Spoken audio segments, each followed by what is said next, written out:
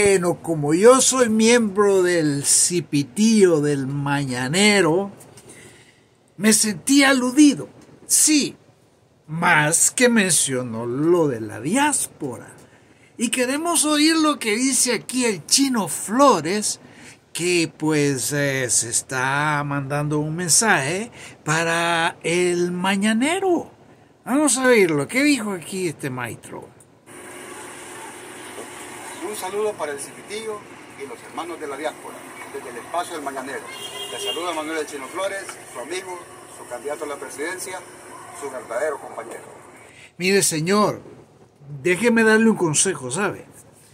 Yo no sé quién está haciendo la campaña a usted, pero se está, se está zurrando en la olla de leche, como decía mi papá. Sí, sí.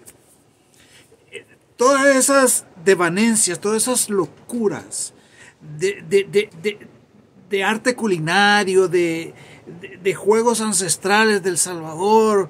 I mean, ¿qué tiene eso que ver? ¿Cómo va a sacar eso adelante al país? ¿Ah?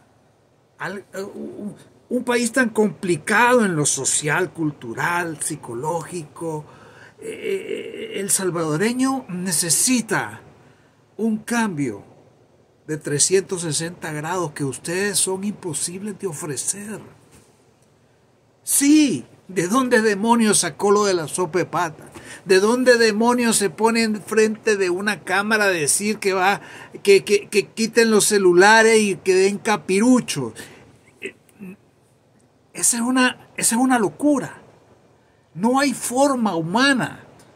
Usted se está dirigiendo a la diáspora. Nosotros vivimos en países del primer mundo y sabemos que los gobiernos del países del primer mundo, cómo tratan a su gente, cómo nos tratan de bien, y usted nos está queriendo dar a tol con el dedo.